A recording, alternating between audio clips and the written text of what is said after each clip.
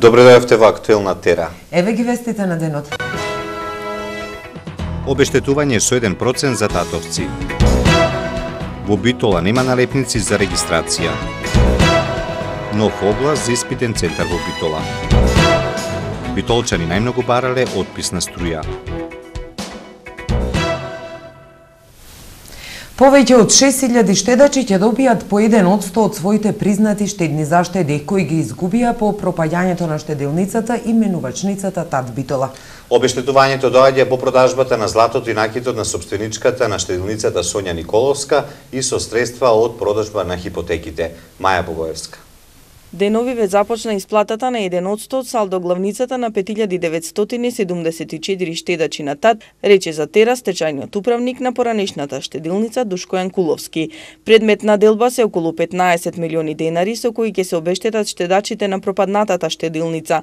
Парите кои се предмет на распределба меѓу штедачите се од продажбата на хипотеките, како и од продажбата на златото и златниот накит, за кои Сонја Николовска тврдеше дека се незино семејно наследство но на крајот се докажа дека тие се купени со парите од штедачите. Парите ќе се распределат во согласност на висината на штедните влогови.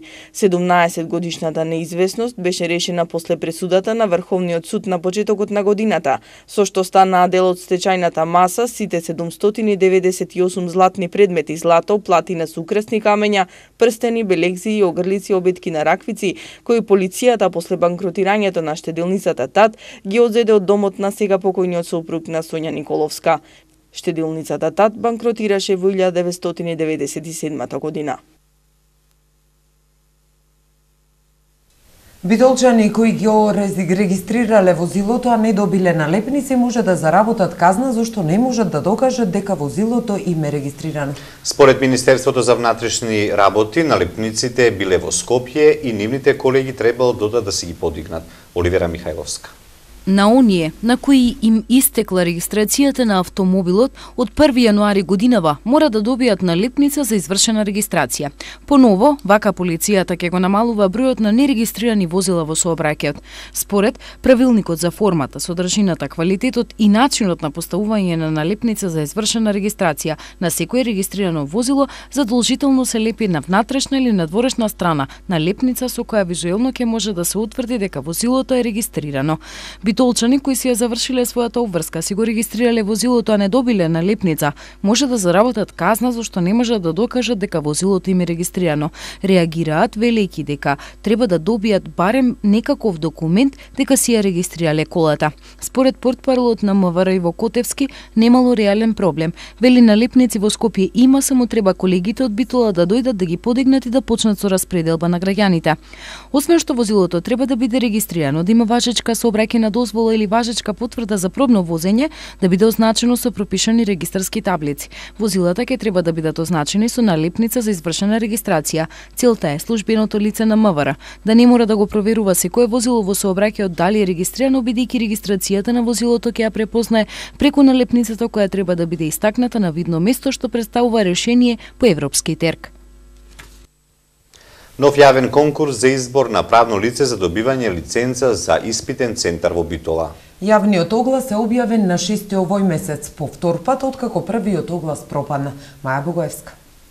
Иако три правни лица беа пријавени на објавениот јавен конкурс во август од страна на МВР за да ја убавуваат дејноста испитен центар за полагање на возачки испит во Битола, конкурсот е поништен. Министерството за внатрешни работи на 6 октомври на интернет страницата повторно објави јавен оглас. Во јавниот конкурс е наведено дека право на учество може да има секое правно лице кое ги исполнува условите предвидени во член 263 став 1 од Законот за безбедност на собраќајот на патиштата, како и наведените критериуми, утврдени во правилникот за начинот на спроведување на возачките испити и критериумите во однос на просторните услови и материјално-техничката и информатичка опрема на испитните центри, водењето на евиденциите во врска со проведените возачки испити и за формата и содржината на лиценцата за испитен центар. Она правно лице кое ќе обавува дејности испитен центар за полагање на возачки испит треба да обезбеди и просторни и материјално-технички капацитети, стручен кадар, организација на работа, информатичка опрема за вршење на работи и испитни комисии под услови наведени во јавниот оглас. Битолчани најмногу барале отпис на струја. До денес до планне во Центарот за социјални работи во Битола биле поднесени 1418 барања.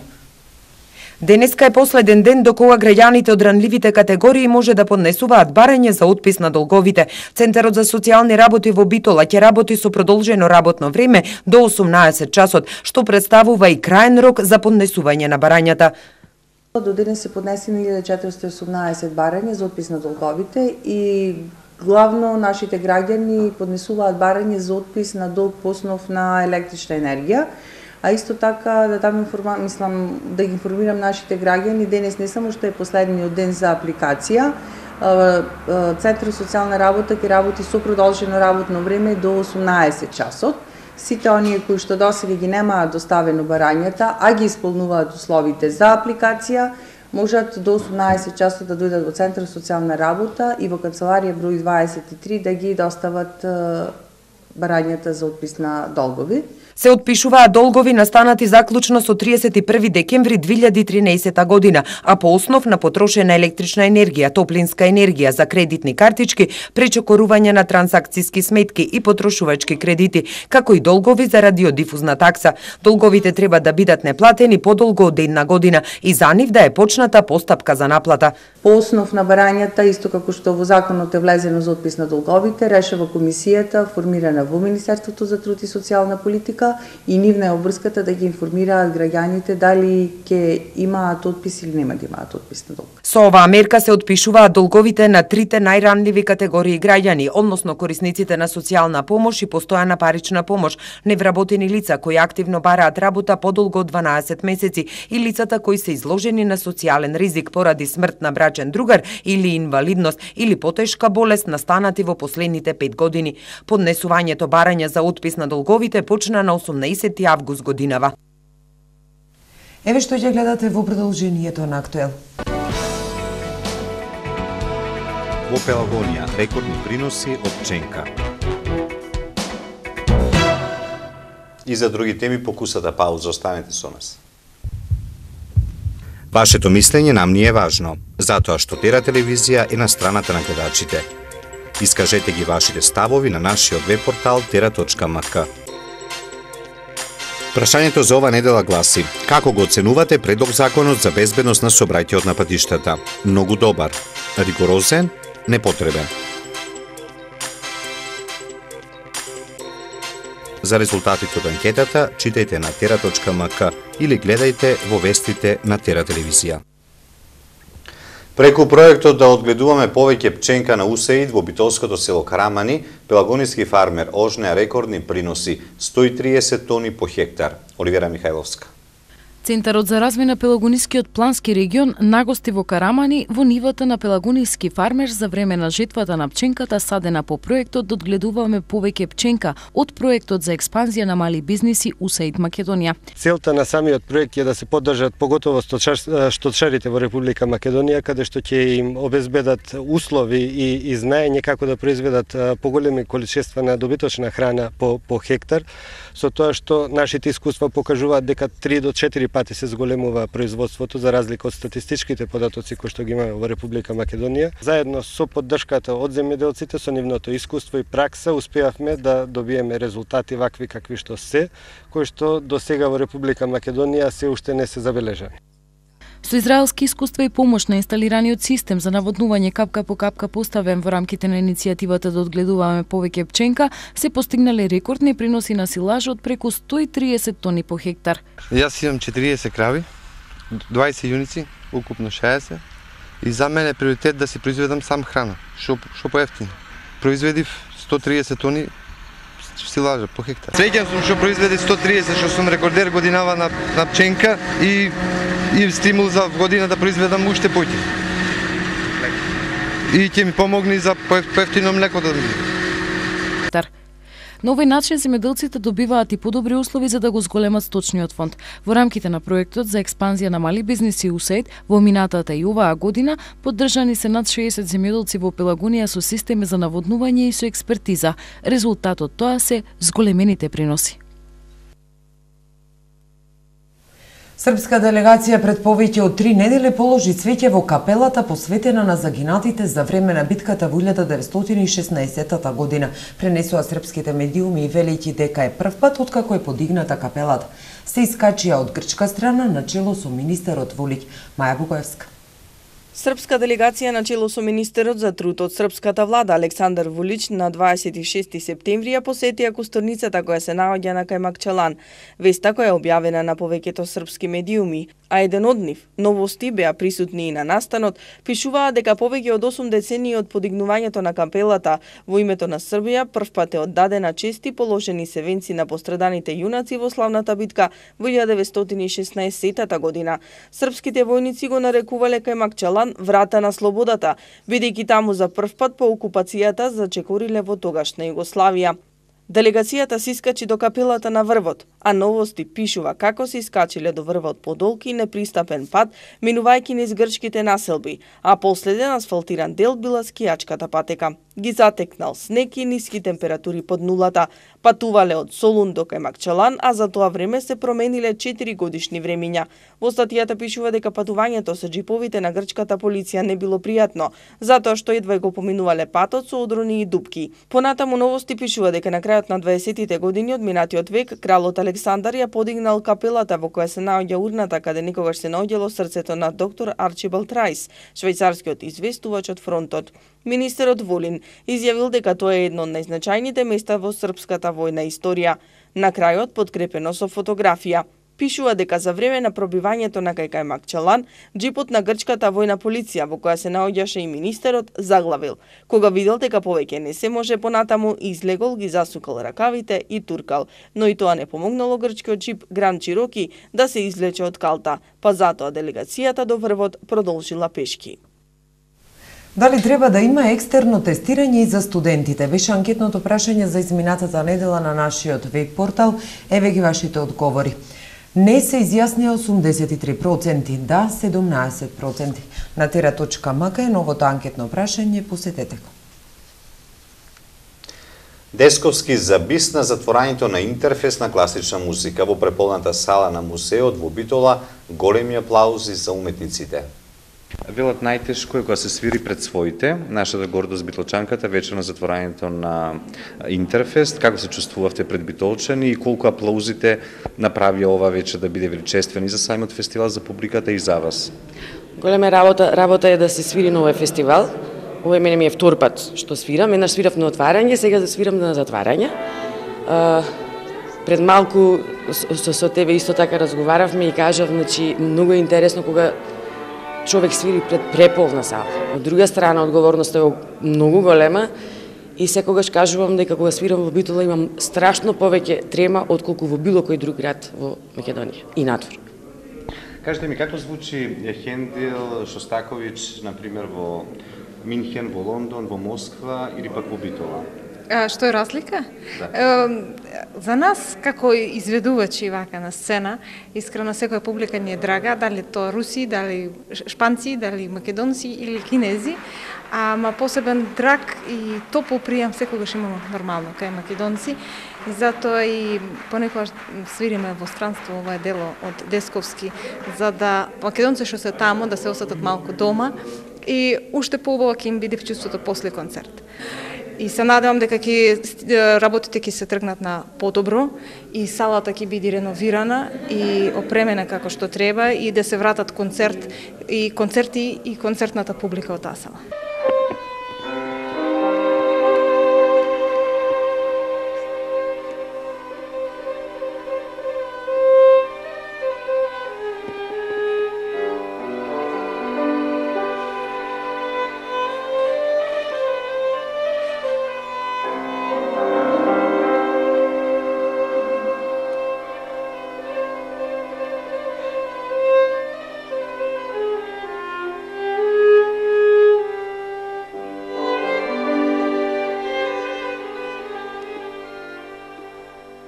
Со Десковски изненадивте битолската публика. А, зашто вашата мајка ви каже дека во Битола джабе да не одите? Мајка ми е прилепчанка, ама кога би можела да бира би била битолчанка. Многу е сака оваа публика, е многу драга, блиска и топла. А, рече што и да свирите, свирите, ама без а, македонско дело да не се појавите таму. И затоа и на бис бевме до негде обврзани да ја отсвириме таа композиција, а и знам дека често има, како што и се покажа, повратници, луѓе од странство, кои неколку пати сме свиреле и биле трогнати и за тие луѓе ние мораме да водиме сметка на концертот да има композиции за е, сите возрасти и сите вкусови.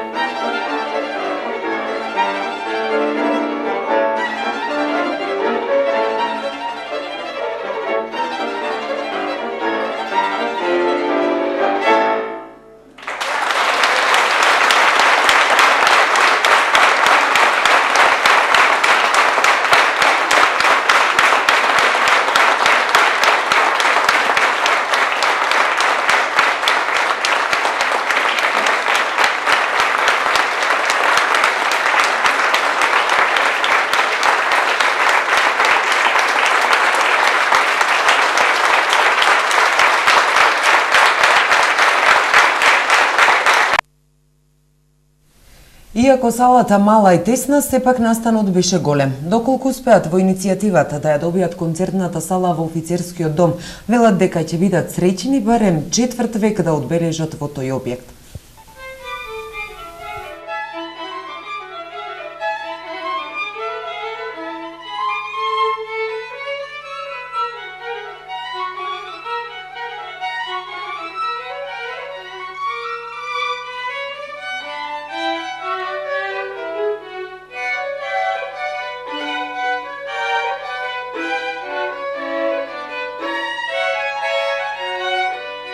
Многу емотивна средба вечерва, големи аплаузи за овие мајстори кои овде како идовме.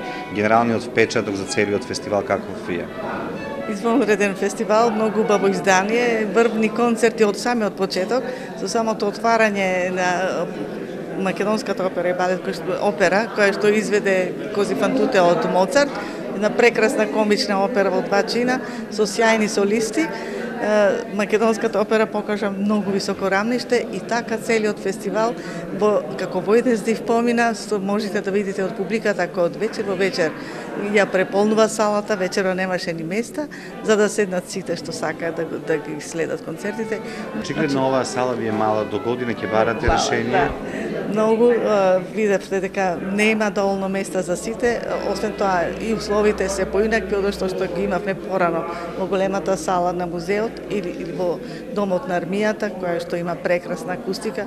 Акустиката и овде е прекрасна, но сепак ова е помал простор и не може адекватно да да се дочека онака публиката како што би требало. И се гледаме на Интерфест 24-то издание. издание и уште малку ќе дојде четврт век, што е многу големо нешто за еден ваков прекрасен град како што е Битола, за ваква прекрасна публика. Вие се уверивте, ваква публика на вистина многу ретко во светот може да Еве што донесува светот на актуел. Медиумите јавуваат дека националистите победиле на изборите во Босна. И за други вести од светот покусата пауза. Останете со нас.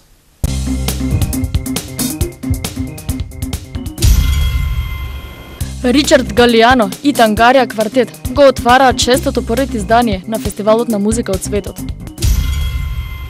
Заврши 23-тото издание на Интерфест. Викендов свечено отворен, вино барот, буре. Среќен роденден Адамс Шус. На изборите во Босна и Херцеговина водат националистите. Прелиминарните резултати од вчерашните избори во Босна покажуваат дека за трипартитното председателство водат националистите. Централната изборна комисија во текот на изминатата ноќ соопшти дека Бакир Изетбеговиќ, Драган Човик и Желка Цвјановиќ како представници на бошњаците, хрватите и србите, водат во трката за трипартитното председателство. Изетбеговиќ за време на кампањата инсистираше на силна обединета држава, Човик за создавање хрватски ентитет во Босна, додека Цвјановиќ за расформирање на Босна како држава. Милитанти од Исламската држава активирале камион полн со експлозив во северниот дел на обколениот курдски град Кобани во близина на турската граница. Според Сириската обсерваторија за човекови права и курдските представници, нападот се случил на околу 2 километри северно од Кобани. За градот со недели се водат борби меѓу милитантите на Исламската држава и курдските борци. Американскиот државен секретар Џон Кери изјави дека на крајот ирачаните се тие што ќе мора да се борат против милитантите на Исламската држава кои напредуваат во Ирак. Вчера Ирак беше погоден од серија бомбашки напади во западниот и северниот дел, како и Багдад, при што загинале најмалку 67 луѓе. Кер исто така изјави дека Вашингтон бил длабоко загрижен за, како што рече, трагедијата во обколениот сириски град Кобани. Рускиот председател Владимир Путин им наредил на руските трупи да се повлечат во постојните бази по војните вежби во Ростовската област во близина на границата да со Украина, соопштија руските агенции, цитирајќи во портпаролот на Кремљ Дмитри Песков.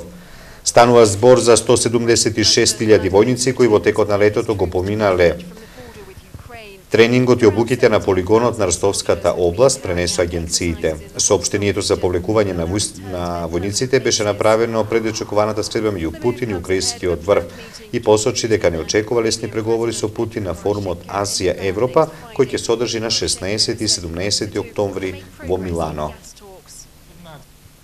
Маскирани лица ги нападнале демонстрантите во Хонг Конг.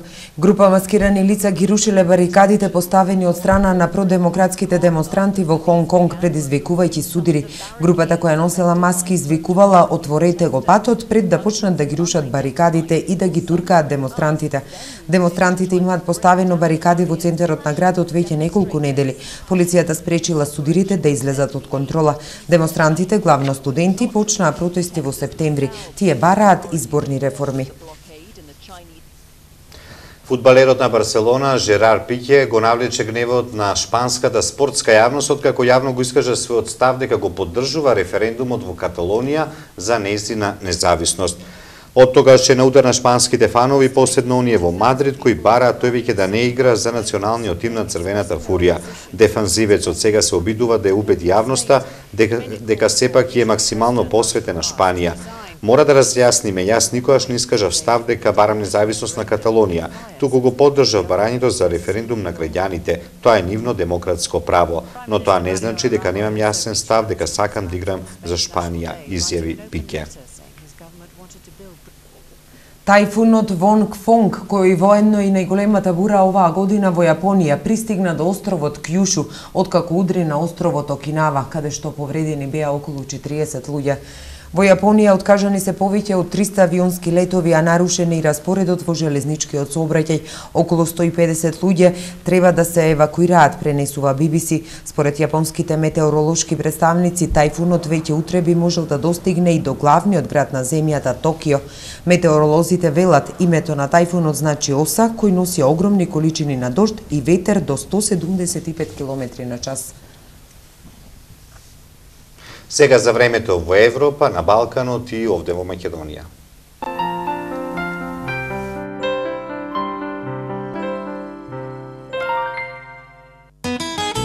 Како ќе биде времето утре во Европа?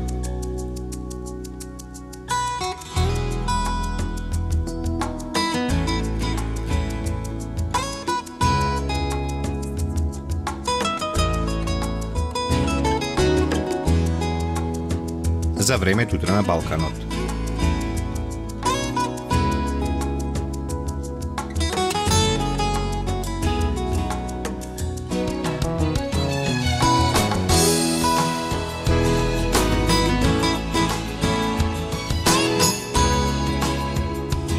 Какво ќе биде времето утре во Македонија?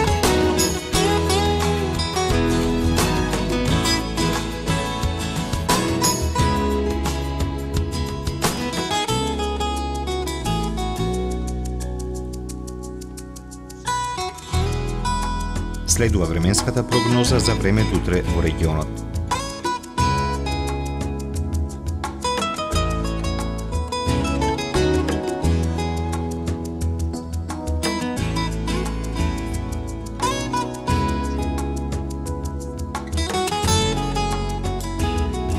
Какво ќе биде времето утре во Битола?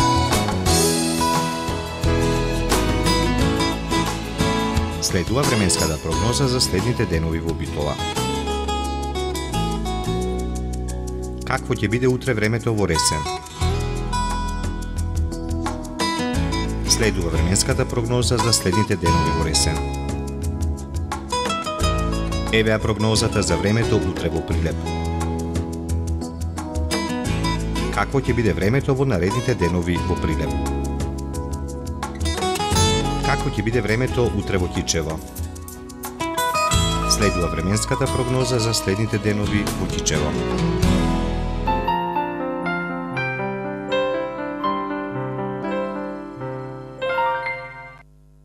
А кој денови ве ни подари срце? Децата од јавната установа Градинки Естреја Овадија Мара со пригоден и многу внимателен подарок за нас. Ни подарија големо срце направено од нивните мали и вредни раце. Јавно им се заблагодаруваме нив и на нивните воспитувачи. Заедно со нив ја прославивме Светската недела на детето. Овде е крајот на денешниот актуел. Останете понатаму со Тира.